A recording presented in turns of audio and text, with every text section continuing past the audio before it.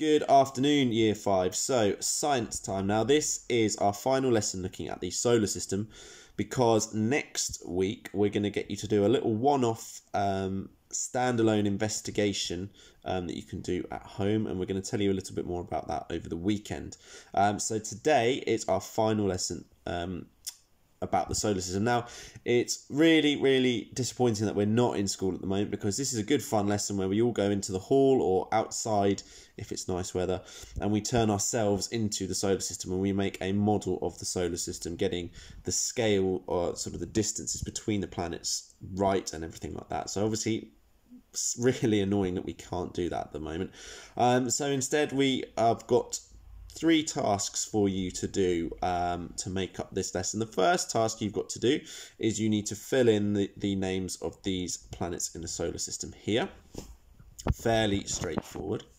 Um, your next task is a little bit of research. Obviously, we've done research on the planets over um, over half over the Christmas holiday. Sorry, however, there's just a few questions for you to um, a few specific questions for you to answer about a particular planet there, and above that we've got some planets about the solar system in general. So, which planet is the biggest? Which orbits furthest from the sun? What's the name of our galaxy? And which planet has the most rings? So, a little bit of a research task for you guys to do there, and then once we have done that we've also got for you a little bit of fun um, is to create a mnemonic. Now, obviously, as I'm sure you're aware, a mnemonic is a way of remembering something based on the first letters of the words involved. Now, remembering the order of the planets is something you'll need to do through secondary school when you look at science in secondary school as well. So it's a good one to be able to do. Now, the mnemonic they've given as an example here is my very excited mother just saw underground newts.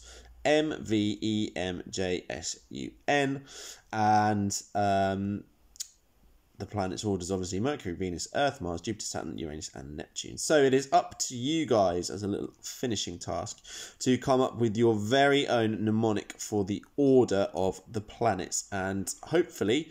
Um, you must keep them appropriate, obviously, nothing rude, um, but hopefully Mrs. Hall, Mrs. Ambrosetti, and I will have a good old chuckle when we're reading these on tapestry later.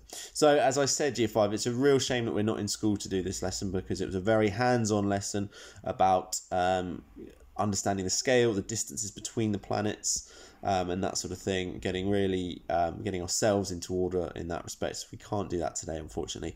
Um, so those are the three sheets. They're attached to the tapestry post. And look forward to seeing them later, particularly those mnemonics. Any questions, obviously let us know, but hopefully that should all be fairly straightforward.